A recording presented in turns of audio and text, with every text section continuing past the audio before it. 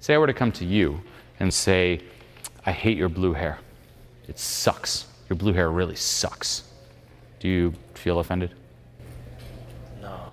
Because you're like, um, I hope so. You're like, mm, no? Good. I hope not, because you don't have blue hair. If you know that for a fact, you will not be offended. If you know who you are at a core, and someone's like, you're not good enough, do you feel offended? No, because you're like, um, I'm good enough. The same as the blue hair.